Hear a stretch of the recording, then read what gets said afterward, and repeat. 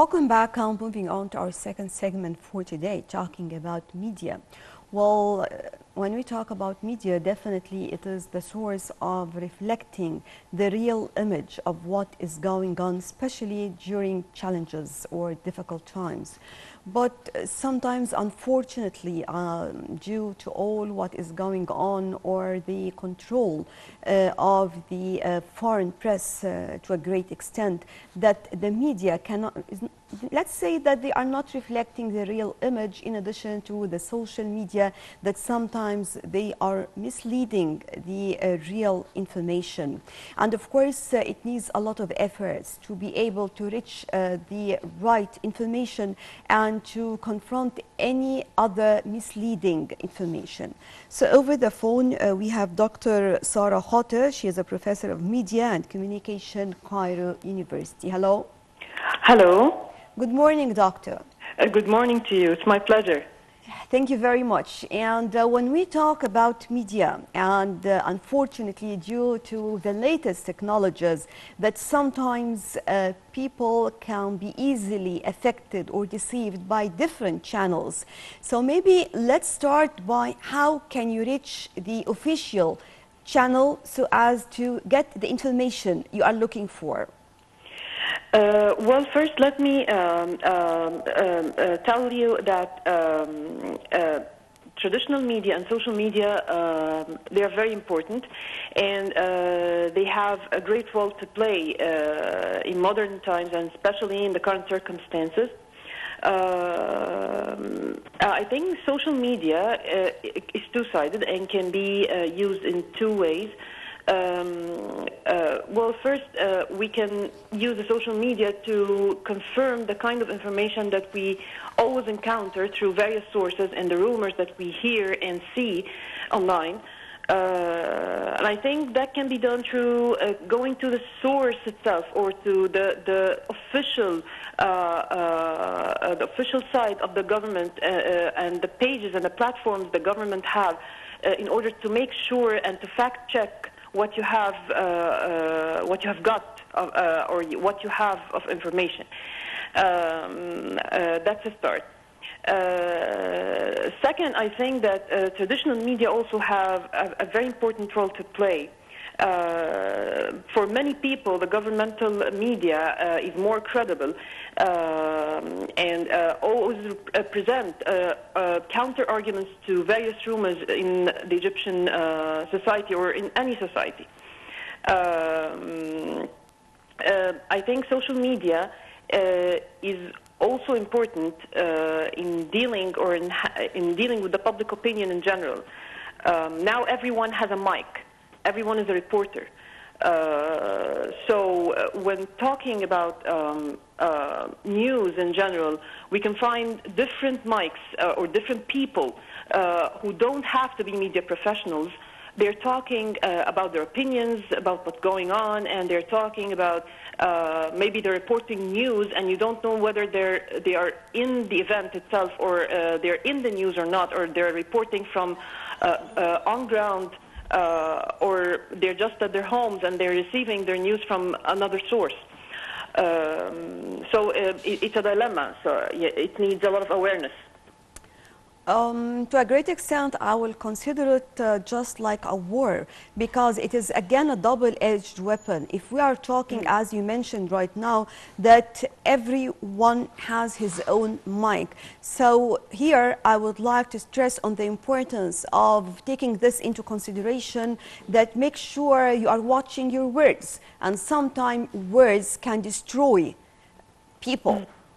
Yes, exactly. I agree um, uh, uh, dealing with media uh, needs responsibility, a great sense of responsibility, because, like you said, you have to choose your words. Um, uh, in the past, uh, with the traditional media, we had specific people who deal or who have mics or who deal with with the news and uh, who, who deal with the media content and present the media content. But right now, like, I like I told you, everyone can do that uh, and they don't have to be media professionals, and they don't have to be experts. Uh, and this is a big, a big dilemma.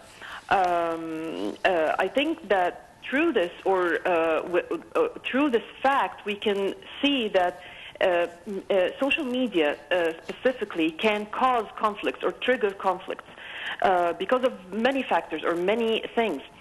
For, for example, number one, um, information overload.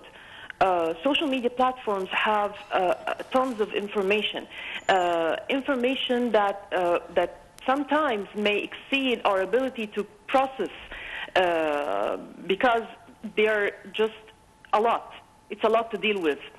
Um, uh, our brains cannot resonate with every single piece of information, especially when when this information is in that number or is huge. Uh, number two, social media sometimes can cause polarization. Uh, it can it can easily make people uh, fight over uh, a very uh, small or simple issue. It doesn't have to be a big issue. Uh, I see a lot of fight going on on social media, and I just don't understand why. Not just in the current circumstances, but I've always seen that. Uh, people like attack each other through comments. Um, and, and that would lead us to number three, which is fanaticism. Uh, uh, fanaticism, uh, uh, I think social media has a very important role to play in, in increasing fanaticism. Uh, because people, uh, instead of like discussing reasonably with each other, they just attack each other, like I just said. Um, sometimes we, and not sometimes, many times, we can uh, um, also encounter fake news and hate speech. And those are two key ingredients in triggering conflicts and wars.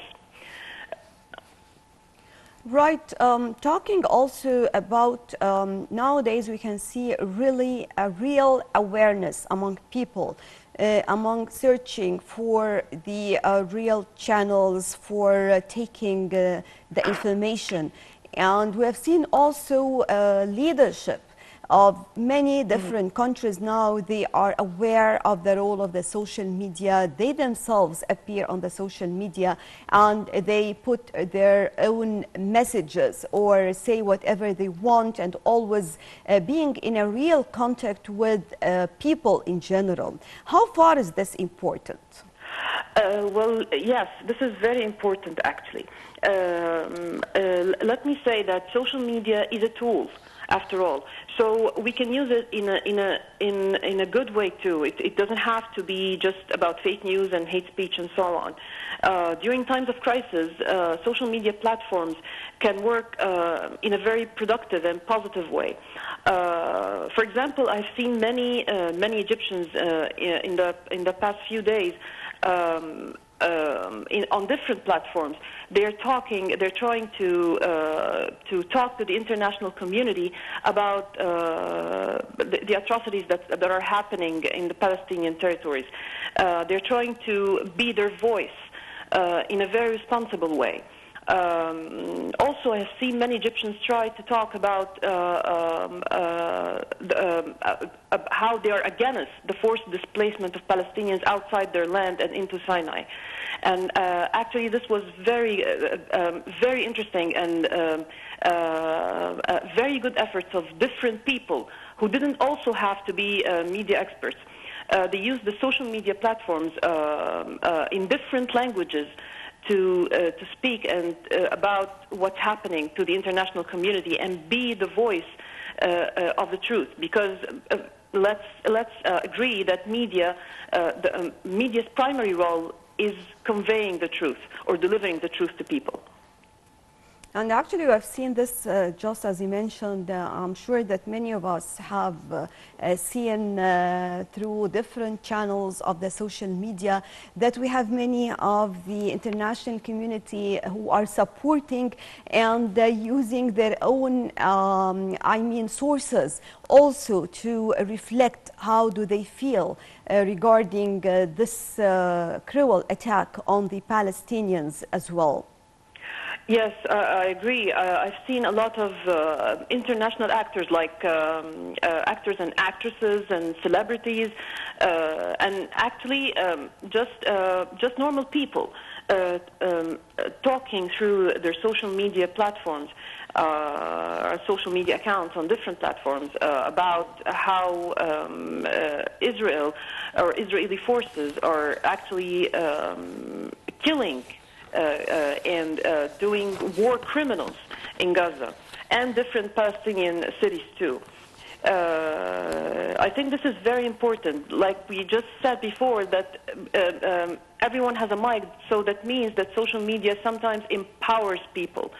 Uh, empowers normal people who, who don't have to be media professionals. Right, uh, Dr. uh, Sara Khater, Professor of Media and Communication, Cairo University, thank you very much for joining us.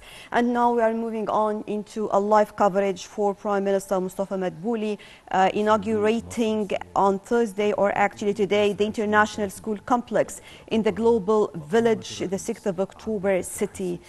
Uh, Prime Minister Madbouli said the Sovereign Fund of Egypt is utilizing the land of the Global Village in the 6th of October city to establish an educational complex that includes a university, a school complex, as a sports